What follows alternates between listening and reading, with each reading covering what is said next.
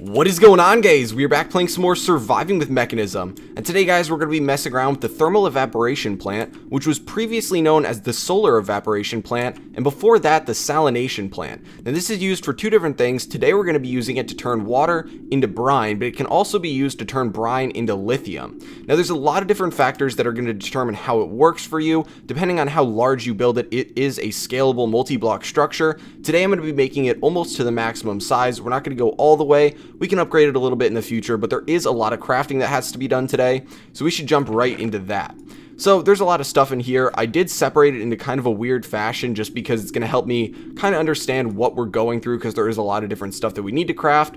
So the first thing that we can craft is going to be a pump. We're only going to be using one pump today to supply water to this. So we can just hop over here and we can quickly craft that. Now I guess I should just grab all this into my inventory, but I want to make sure that we're getting the exact amounts of everything. So the next thing that we're going to be doing is making a tank. So we're actually going to be making uh, not the basic tank. We're going to start with the basic fluid tank because we have to. It's really cheap to make and it can hold 14 buckets. So we're going to grab that and then we're going to go and we're going to make the advanced fluid tank, which is pretty much just uh, upgrading it with the same pattern except you're replacing the redstone with enriched alloy and then you're putting the basic fluid tank in the spot that was empty before. So we're going to craft this. This can hold twice as much, so we got 28 buckets in there. It's really not that much that's going in there, but this will give us a little bit of storage space for some of the brine that we're producing, because eventually we're going to be using the brine to get to the four times ore processing, and eventually it'll lead to the five times ore processing, um, but we're not actually going to go through the machines today. That'll be in an episode or two, so we're just going to be storing it today. Okay, so the next thing that we're going to go into crafting is going to be the advanced solar generator. Now we're going to want four of these for the top of the thermal evaporation plant. You can use less. It doesn't require all four of them for it to be constructed, but it's not going to work as effectively if you don't have all of these on there because you're not actually supplying power to this outside of having these advanced solar generators. So you'll notice if you start getting rid of these, the temperature of the tower itself is actually going to start going down. So we're going to be making all four of them and I'll discuss where they get placed later. But just remember, if you want to replace these with a different block, then you can, and I will discuss that in a little bit, but I would suggest crafting all four of these. So these are actually what pretty much all the resources in here are directed towards because to craft one of these you need four solar generators which require uh, three solar panels which are actually kind of expensive.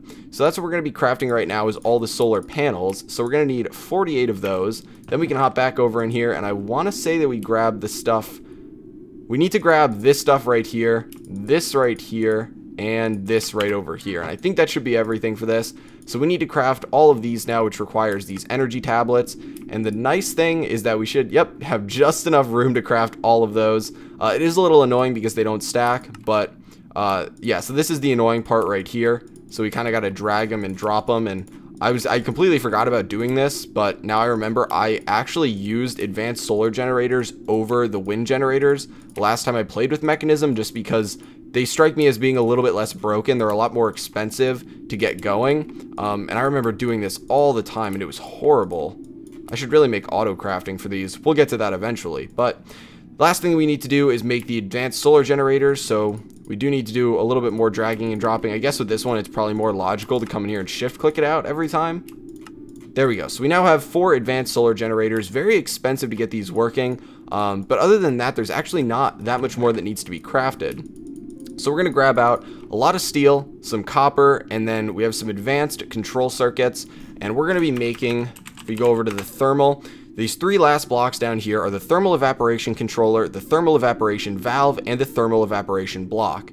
So you do need some minimum requirements for these. You need one thermal evaporation controller, which is going to go in a specific spot when you actually start building this, and I will go over that when we're doing that. You need at least two thermal evaporation valves, one for input, one for output. You can have more, but you need at least two of these, and they will eventually replace some of the th uh, thermal evaporation blocks. And then on top of that, you're going to need a bunch of thermal evaporation blocks. You're going to need enough to fill in a 4x4 for the base, then a hollow 4x4 above that, and then after that, you can add anywhere from, you can add up to 15 layers of just hollow 4x4s on top of that.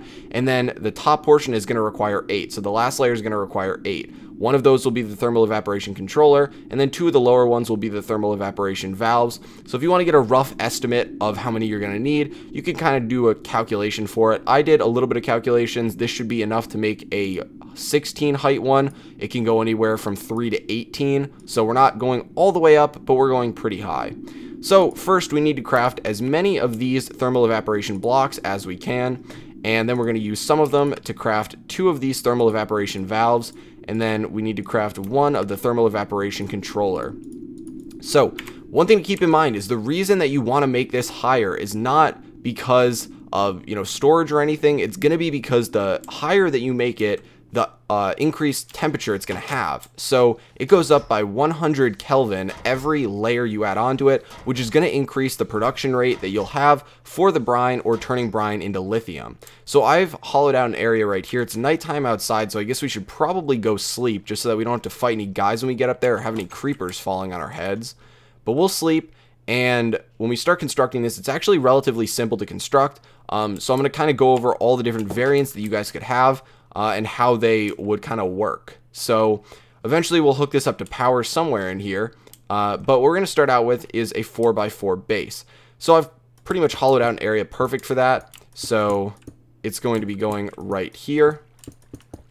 And there we go. So here's the 4x4 base. You're going to need this no matter what you're constructing. There are minimum requirements for this setup. Uh, the next thing that we're going to need is going to be the 4x4 hollow uh, outside portion of this with the thermal evaporation blocks, but I'm actually going to be putting down the thermal evaporation valves. Now these can replace the thermal evaporation blocks, so if we really wanted to, we could put one, um, we could put one down here and one over here. Uh, I guess we can do that for now. So we'll throw one down there and one down there. And now all we have to do is just build up with these and tower all the way up. So this is the minimum requirement before you could start building the top.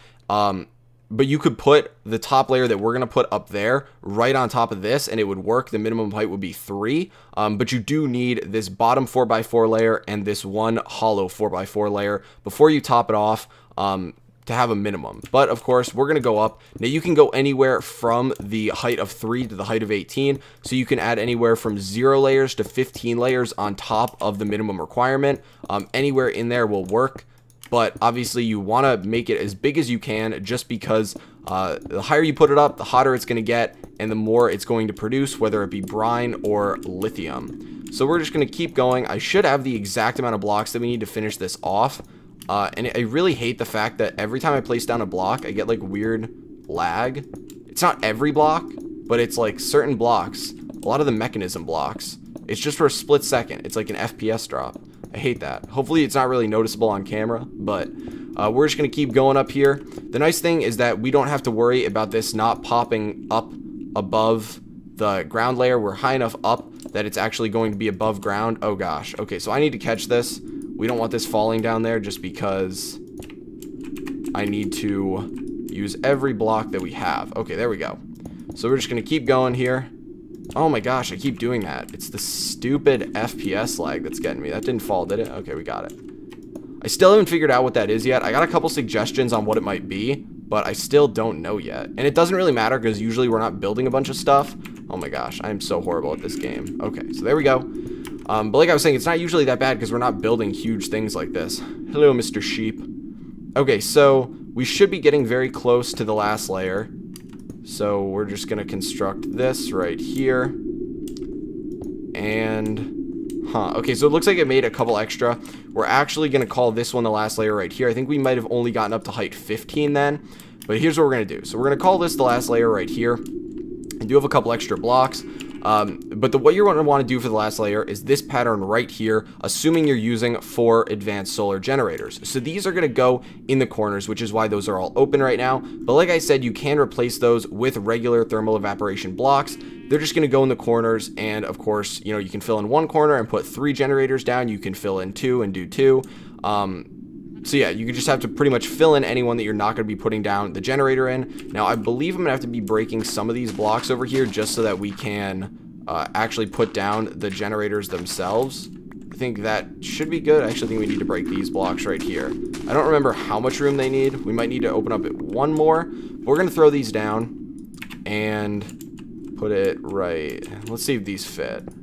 Okay, so they do fit. We're kind of caught in it because of where we're placing them from. But we're going to place another one down there. Another one down there. And the last one down here. So that's the, pretty much the setup for this. It's going to cover the top. You don't need to fill in that central 2x2 area. You actually have to leave that open. If you fill it in, it's not going to form. Now what we want to do really quick before we throw down the last piece is go into options, video settings, and then I think I want to find where particles are because I know they get taken somewhere else. So let's go under details. Is it under this? No. Um, maybe it's under animations. Okay, so just be under, I think particles, okay, so we'll put particles on all right now. The reason I'm doing this is because we're going to throw down the thermal evaporation controller, and assuming we built this correctly, it should allow us to see particles around it to let us know it's formed. It should be red particles. Oh, that's not, that's not what we wanted. Oh, oh gosh. Okay, here we go. There we go, red particles. You'll know it also worked because if you click on the thermal evaporation controller, you'll be able to see it's formed. So that's what the first thing says, formed. It would say incomplete if it's not. It tells us the height is 13. So I guess I did some incorrect calculations. It was a little difficult because I had to calculate how many of these blocks we were actually using to craft the controller and the valves too. Um, so I guess I did some miscalculations on that, but we can see the temp is going up. You can display the unit through which the temp is. Celsius, um, oh gosh, I'm forgetting what R is. Oh gosh, my engineering teachers would hate me, but uh, Fahrenheit, um, I don't even know what that one is. Okay, so we're just going to stick with Kelvin.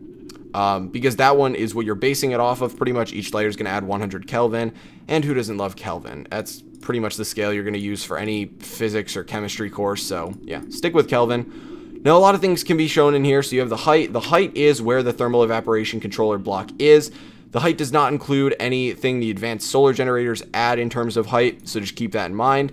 Um, once we eventually start producing this, you'll see that the production rate will go up based on the temperature, but it also goes up or down depending on what space is left. So if we have no room in here or nothing being produced, the production rate will be 0 out of 0 millibuckets per tick.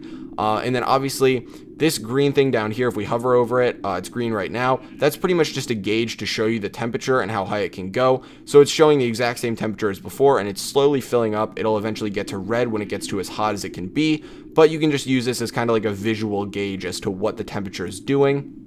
Now, the left side is going to be the input, and then the right side is going to be the output in terms of what you have in there. You can bucket things in if you want using this slot right here, and bucket things out using this slot right here if you'd like to, but that's going to be really slow, so I would not suggest doing that. So now we need to find our way back into the base. Another option would also be to just drop down in here and then reconstruct it, um, but I think we'll, we'll find our way around. It should just be over there and then dropping down, I think. I really, okay, yeah, that should be where it is. We're going to take a little bit of fall damage jumping down over here, but a lot of you guys have told me to make the jetpack. I will do that on camera very soon. It would probably be really useful for today's episode. Uh, also, you guys told me to make the free runners, but I haven't gotten around to that yet, so I apologize if a lot of you guys are just flipping out because I don't have that right now. We will get to it, I promise, do not worry. Uh, also, you can see I got a lot of resources since last episode. I pretty much went and made food while allowing the digital miner to run, and I put a bunch of upgrades in all these, including this one, which now has gas upgrades too, which are really nice. Uh, so this thing's running pretty nicely. I added some extra wind uh, generators up there, so everything's going pretty smoothly. Now the last thing we need to do is add these mechanical pipes, add on the fluid tank, and add on the pump, and grab some water for that. So we're going to come in here, we're going to grab out some water, and we can start attaching it on down here. So neither of these are specific right now. They're both just, you know, a valve that can input or it can output. We're going to make this one over here. Uh, I guess we can make this one, hmm, we can make this one the input and this one the output just because for the time being until we reorganize the base again, this one is going to be closer to the ore processing setup over here. So it's going to be easier to bring the brine out and actually start putting it into all the chemical uh, machines. I can't even remember. There's a lot of them that we have to use. The chemical injector, the chemical washer, all that different stuff that we're going to have to eventually use. So what we're going to do is take the electric pump and I guess we can throw it down. Um, we're going to need a mechanical pipe to be going right in here. I actually think we might want to move this up one. We might want to break this and move it up one. And we can tweak the structure as much as we need. Uh, it really doesn't matter if you're breaking and replacing stuff. Uh, again, we get the particle effect and we can We can move this one too just for the sake of symmetry. It really doesn't matter for this one. But we can throw that back down. It reforms. And now I guess we can put the electric pump over here and just put a mechanical pipe right above that. And then we'll just have to rotate it for inputting power. Uh, and then we can throw the water down under here. I love the fact that we do not have to worry about the water. We can just throw down some cobble there. Uh, but I love the fact that we don't have to worry about the water. Uh, we need to change the settings on this. So we need it to be rotate. There we go. So I think that should be okay. We can just run this along the ceiling over here somewhere. Uh, I'm regretting leaving these corners like this. I think here, here's what I want to do. We're gonna we're gonna tweak some stuff right now. Oh my gosh, I I'm gonna have to manually break these. I don't feel like changing the settings. We're gonna we're gonna swap this around a little bit just to make it a little bit nicer when we're working with a lot of these cables. So we're gonna do this. Uh, instead of having it at a corner like that, we're just gonna fill these in and make it an actual corner so that we can just bring it along the top here and it'll look a lot nicer. Okay, and then we get like that, and then we can run it easily right over here, and it'll look so much better.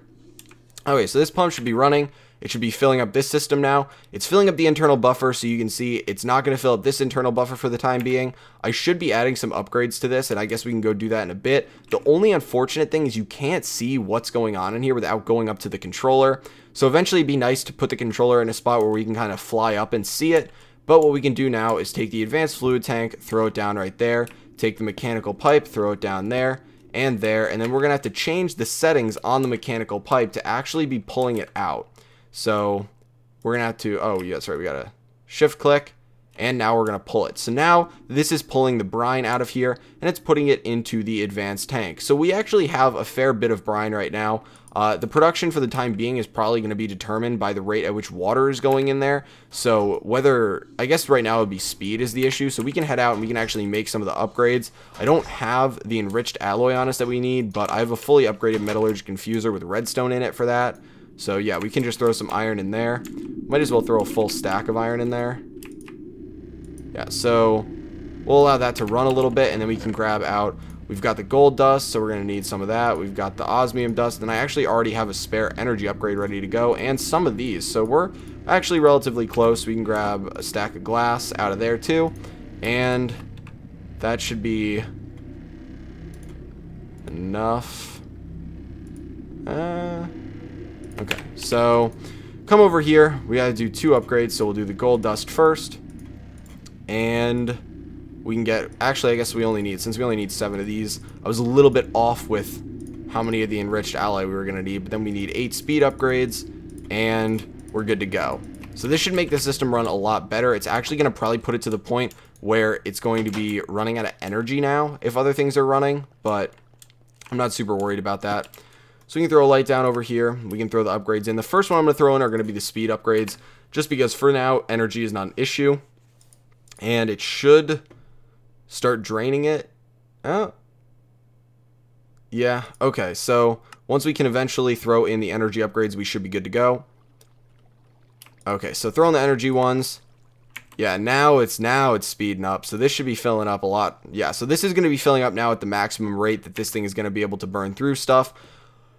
Yeah, so if we increase the height, it'll have a faster rate because that'll increase the internal temperature. It also has to continue heating up as it goes, so it's uh, a good thing to keep in mind that it's actually probably not at its maximum heat right now because we just made it, so it still has to continue heating up. It does heat up relatively quickly, but it does still take some time to do that. Now this is obviously going to fill up very soon, and the internal buffer will fill up very soon too. So next episode, we're probably going to work on doing the four times ore processing, which is actually a relatively large process that uses a lot of energy. So I'm going to work on expanding this system and finally hook it up. I've been testing stuff out with it, and it seems like the ethylene production is going pretty nicely. Uh, there is a very nice backup right now of biofuel in there that's soon going to be an issue so I'm gonna have to actually start hooking this up and using power from it um, but I will expand this farm a lot while off camera. Hopefully you guys enjoyed today's video. If you found it informative or entertaining in any way, please feel free to give it a like as it does help me out a lot. And I will talk to you guys later.